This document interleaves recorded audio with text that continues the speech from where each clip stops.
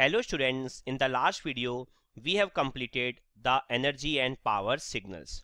Now in this video we will start with the last classification of signals that is periodic and non-periodic signals. Okay, so what is periodic signal and what is non-periodic signal in case of continuous time and discrete time this all things we will study in this video okay so first of all we will understand what is periodic signal okay periodic signal आपका क्या होता है but in case of continuous time signal okay so first हम यहाँ analysis करेंगे continuous time periodic and non periodic signals का तो continuous time में periodic क्या होता है आपका अगर simple language में बोलूँ तो periodic signal repeat itself after a specific time interval okay जो सिग्नल अपने आप को स्पेसिफिक टाइम इंटरवल के बाद रिपीट करते हैं, वो आपके होते हैं पीरियोडिक सिग्नल्स जैसे अगर मैं आपको एक इक्वेशन लिखूं तो x t is equal to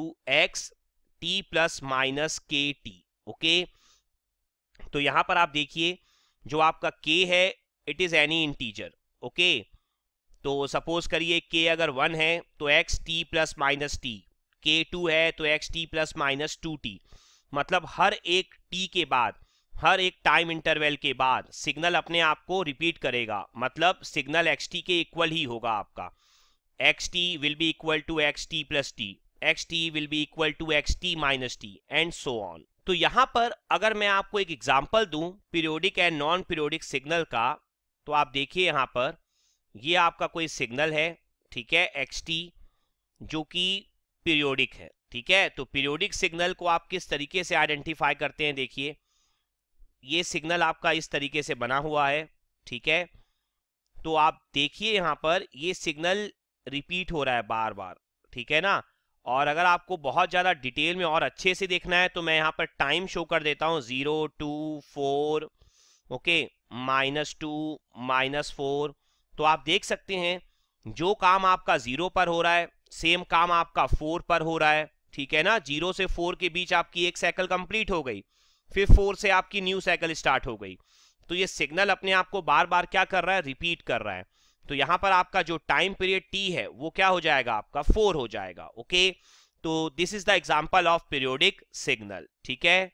now आपको कुछ इंपॉर्टेंट कंसेप्ट यहाँ पर दिमाग में रखने हैं।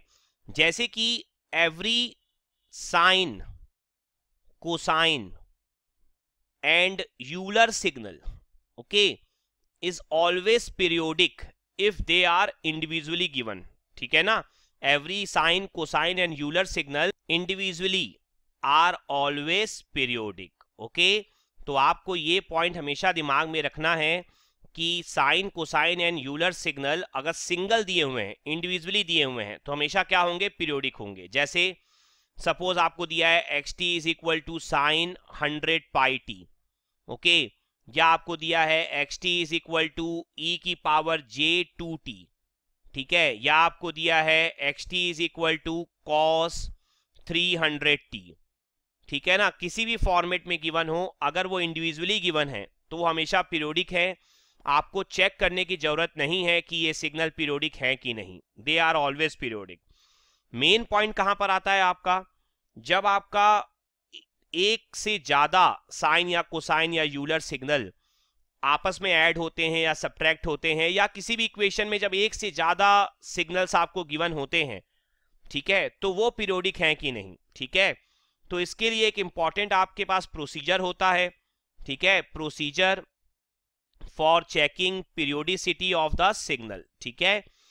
तो यहाँ पर हम लोग पीरियोडिसिटी चेक करने का एक प्रोसीजर स्टडी करने वाले हैं। कि जब आपके एक से ज़्यादा साइन, कोसाइन या यूलर सिग्नल सिंगल इक्वेशन में गिवन हो तो क्या वो पीरियोडिक होंगे कि नहीं होंगे? या हो सकता है एक साइन, एक कोसाइन, एक साथ ऐड हो तो वो पीरियोडिक होंगे कि नहीं होंगे? ये सारी चीज़ें हम कैलकुलेट यहाँ पर कर पाएँगे।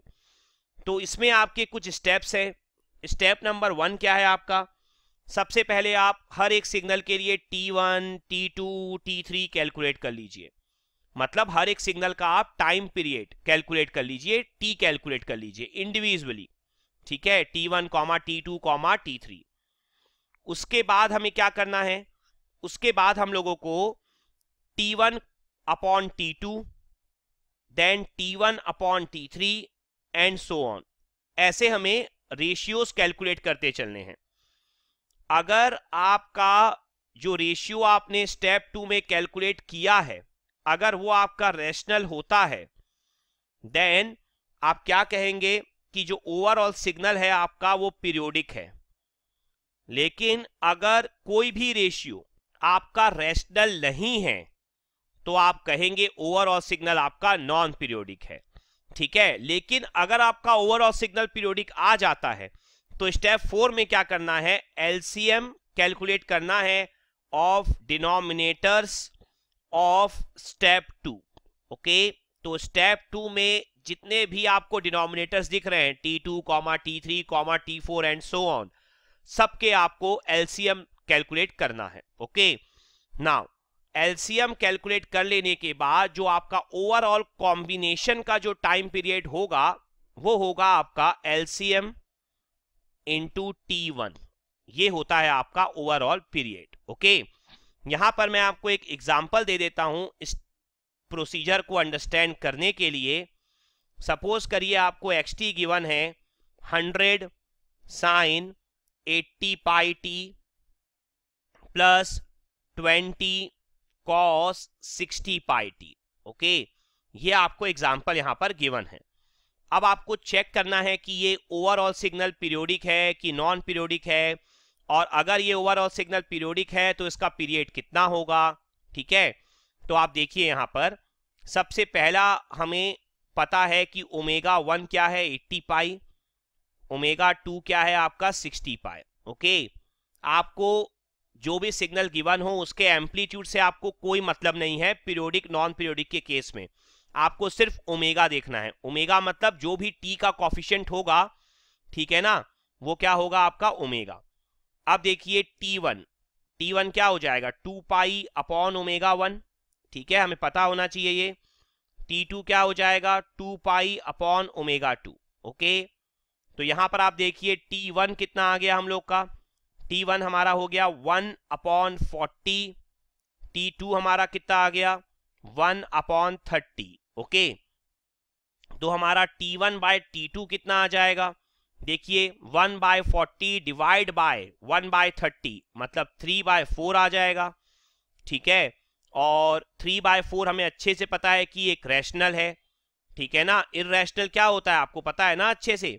इरेशनल तब होगा जब p बाय क्यू मतलब न्यूमरेटर अपॉन डिनोमिनेटर कहीं पर भी कोई नॉन इंटीजर वैल्यू हो, ठीक है? या आपका पाई का टर्म हो या अंडर रूट का टर्म हो तो आप कह देंगे कि वो क्या है आपका नॉन रैशनल है, ठीक है?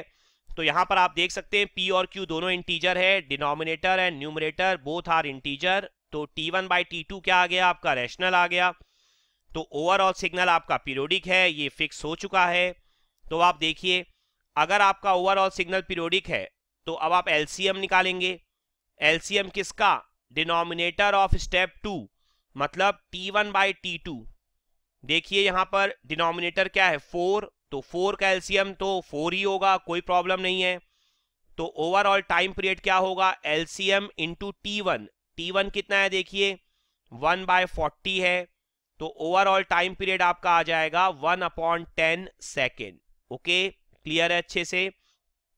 तो ये प्रोसीजर जो हमने स्टडी किया अभी स्टेप बाय स्टेप उसको हमने एक न्यूमेरिकल के थ्रू फिर से एनालिसिस कर लिया। ओके आई होप अब आपको प्रोसीजर अच्छे से क्लियर होगा। नाउ यहाँ पर आप चाहते तो सेम क्वेश्चन को सॉल्व करने के लिए एक और मेथड का यूज़ कर सकते थे मेथड नंबर टू देखिए क्या होगा।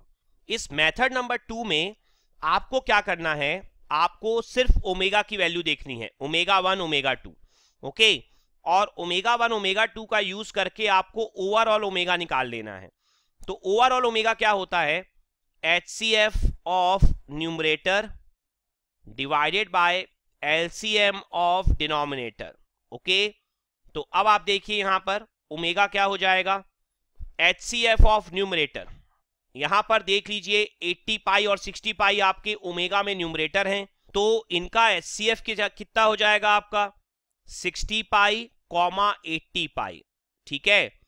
एलसीएम एलसीएम ऑफ़ डिनोमिनेटर मतलब वन कॉमा वन, क्योंकि सिक्सटी पाई अपॉन वन दिया है, एट्टी पाई अपॉन वन दिया है ओमेगा में एलसीएम आपका वन ही हो जाएगा।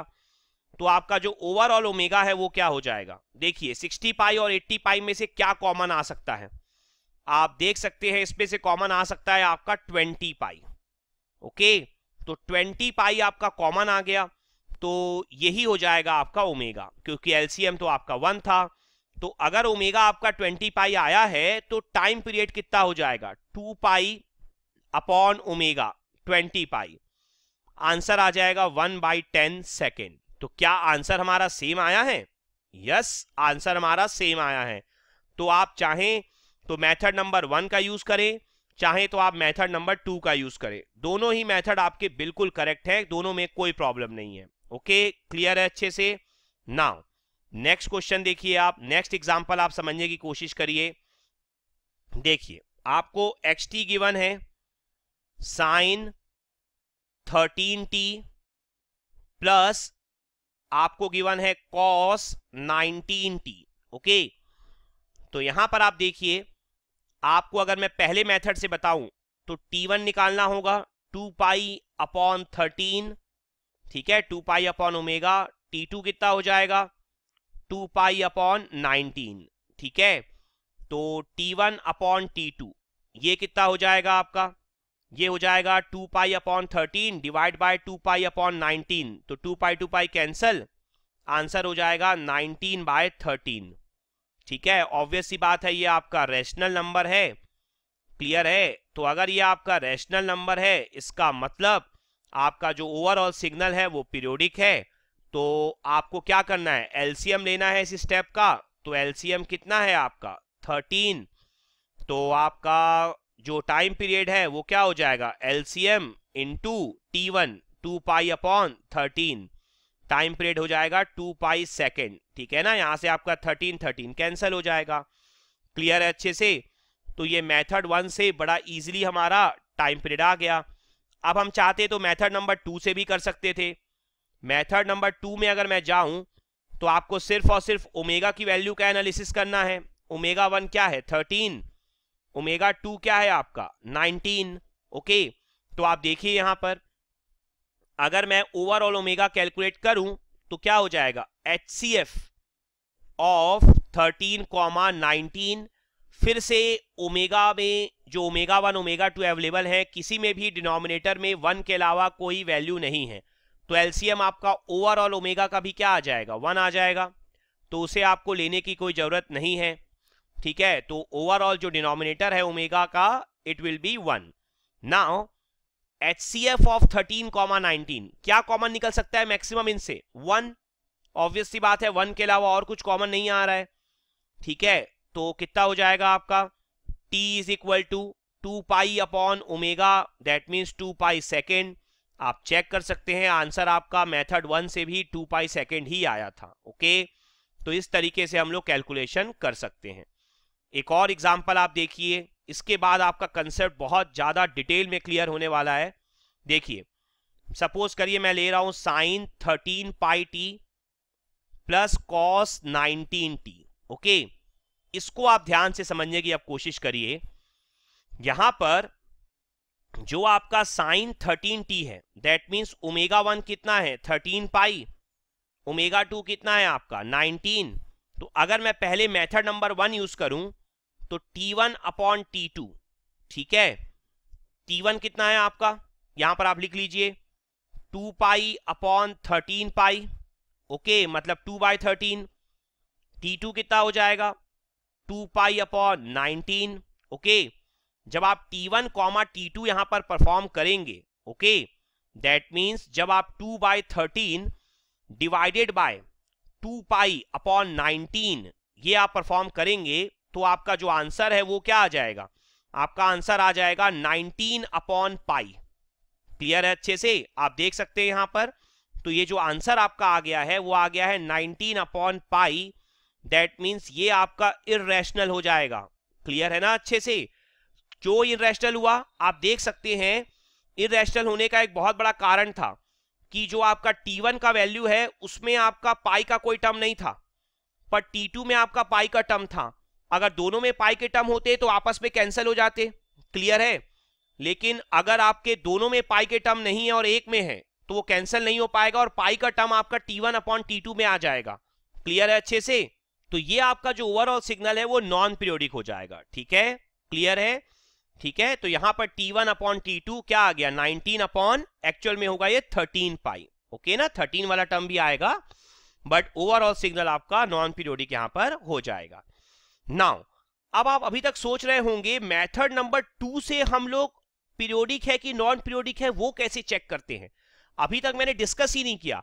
मेथड नंबर टू से मैंने पीरियोडिक सिग्नल का ही पीरियोड निकाल के आपको दिखाया है, जो कि मेथड नंबर वन में ऑलरेडी प्रूव हो चुका था कि दिस सिग्नल इज़ पीरियोडिक तो अगर आपको direct method number two use करना हो तो how to check that whether the signal is periodic और नॉट तो देखिए ध्यान से। Omega is equal to H C F of numerator तो आप देखिए, यहाँ पर फिर से डिनोमिनेटर वन वन है तो एलसीएम लेने की ज़रूरत नहीं है तो थर्टीन पाई कॉमा नाइनटीन तो यहाँ पर आप लिख दीजिए थर्टीन पाई कॉमा नाइनटीन तो यहाँ बोलेंगे कि यहाँ तो एस आ रहा है आपका फिर से वन तो फिर तो आपका जो टाइम पीरियड है वो आ जाएगा टू पाई फिर से लास्ट क्वेश्चन के जैसे, लेकिन नहीं, ऐसा नहीं होगा, ध्यान से समझने की कोशिश करिए। जब आप एच लें जब आप हाईएस्ट कॉमन फैक्टर लें तो जो बचा हुआ पार्ट हो, वो हमेशा आपका इंटीजर हो। अगर आप यहाँ से वन कॉमन ले लेते हैं तो बचेगा क्या? थर्टीन पाई कॉमा नाइनटीन जो कि इंटीजर नहीं है। इस बात को ध्यान रखिएगा तो वो आपका नॉन पीरियोडिक हो जाएगा सिग्नल क्लियर है अच्छे से? मैं आपको पिछले क्वेश्चन से भी रिपीट करता हूँ इस कंसेप्ट को। देखिए, जो लास्ट क्वेश्चन था, जिसमें S C F of thirteen comma nineteen लेना था उसमें से अगर आप वन कॉमन लेते तो बसता क्या? थर्टीन एंड नाइनटीन दोनों इंटीजर थे। ठीक है? अगर आप उससे भी लास्ट क्वेश्चन पे जाएँ तो आप देखिए, जब 60 पाई कॉमा एट्टी पाई का एस लेना था तो एस आया 20 पाई जब आपने 60 पाई में से 20 पाई लिया तो क्या बचा अंदर? 3 और 80 पाई में से 20 पाई लिया तो क्या बचा अंदर? 4 3 कॉमा फोर दोनों ही इंटीजर थे। ठीक है? तो कॉमन इस तरीके से निकालना है कि बचा हुआ भाग इंटीजर हो। अगर ऐसा पॉसिबल नहीं है तो सिग्नल आपका क्या हो जाएगा? नॉन पीरियोडिक हो जाएगा। क्लियर है अच्छे से? Now, next concept. या नेक्स्ट एग्ज़ाम्पल मैं आपको अब देने जा रहा हूँ, जिसमें आपको एक छोटा सा कंसेप्ट और मिलने वाला है। वो क्या है? ध्यान से देखिए। अगर मान लीजिए आपको एक्स टी कुछ इस तरीके से दिया हुआ है cos ten pi T into cos eighteen pi T. ठीक है? ये आपको दिया है एक्स टी तो यहाँ पर देखिए, यहाँ पर दोनों सिग्नल आपके मल्टीप्लाइड है। तो ध्यान रखिएगा, जब भी दो सिग्नल टाइम डोमेन में मल्टीप्लाई होते हैं, उनकी फ्रीक्वेंसी हमेशा एड एंड सब्ट्रैक्ट होती है। ये आप कम्युनिकेशन सिस्टम में बहुत डिटेल में पढ़ेंगे।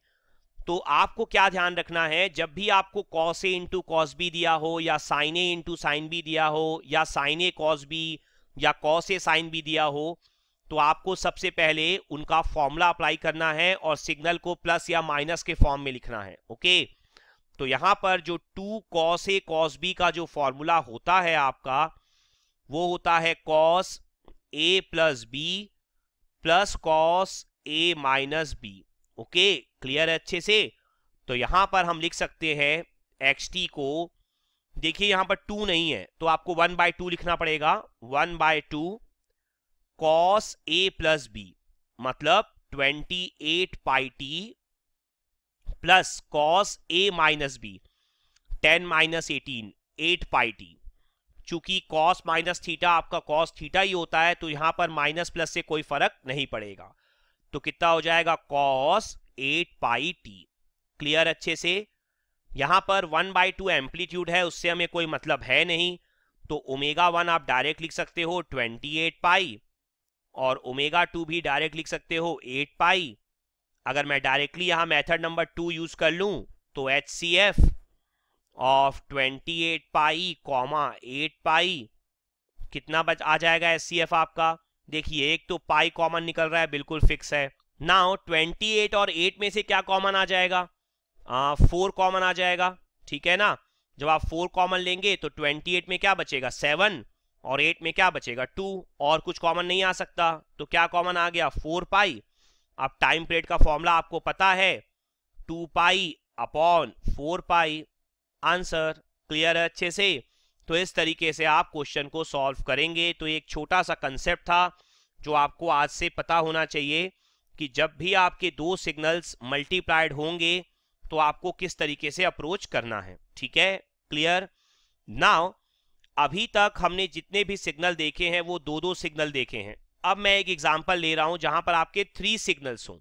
ओके तो आप देखिए यहाँ पर, एक एग्ज़ाम्पल है आपके लिए X T is equal to six cos eight pi by three T plus pi by six plus nine sine six pi by eight T plus pi by four plus twelve cos यहाँ पर ले लेते हैं हम लोग nine pi by four T plus pi by three okay तो इस तरीके का मैंने एक लॉन्ग सिग्नल अपने आप से क्रिएट किया है। इसलिए मैं इतना रुक रुक के क्वेश्चन लिख रहा था। मैंने कोई भी क्वेश्चन रैंडमली अपने आप से क्रिएट कर दिया।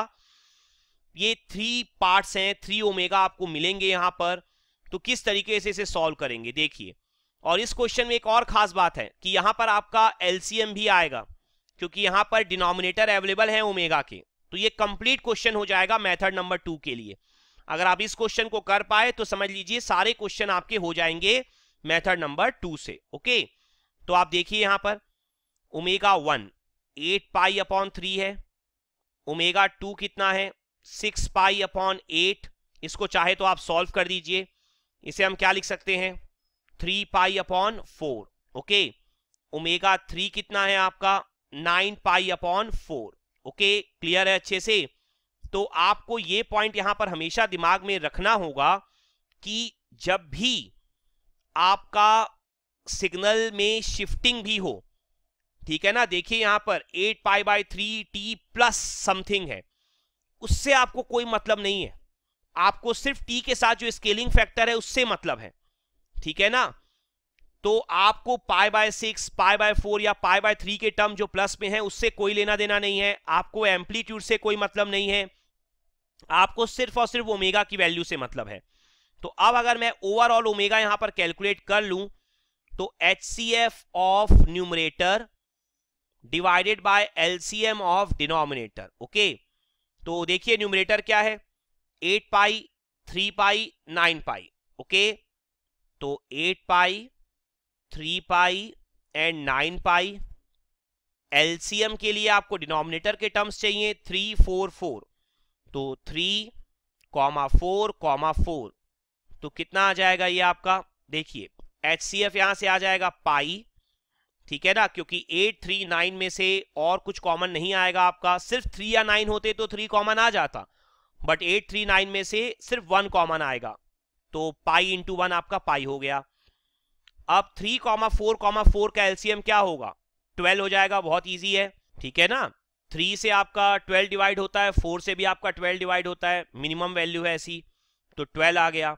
तो ओमेगा आ गया पाई बाय ट्वेल्व तो आपका टाइम पीरियड क्या होता है? Two pi upon omega, okay? तो आपका जो टाइम पीरियड है, पाई और pi cancel, twenty four second, okay? तो ये आपके कुछ न्यूमेरिकल्स थे, जिससे आपको, I think, method number two अब बहुत अच्छे से क्लियर हो गया होगा। ठीक है? इन न्यूमेरिकल्स के साथ अब आप मेथड नंबर टू अच्छे से यूज़ कर पाएँगे। नाउ, अब कुछ और न्यूमेरिकल, कुछ और कंसेप्ट मैं आपको देने जा रहा हूँ। सपोज़ करिए, कोई सिग्नल आपको दिया है X T is equal to hundred sine four pi T plus pi by six into U T okay? तो यहाँ पर आपको बताना है, ये सिग्नल पीरियोडिक है कि नॉन पीरियोडिक है, और अगर पीरियोडिक है तो इसका पीरियड कितना होगा? क्लियर है अच्छे से? तो अब आप देखिए यहाँ पर, ये जो सिग्नल है, वो यूटी से मल्टीप्लाइड है। यूटी से मल्टीप्लाइड है मतलब ये साइन वेव होगी जो सिर्फ़ राइट साइडेड होगी, लेफ़्ट साइडेड नहीं होगी।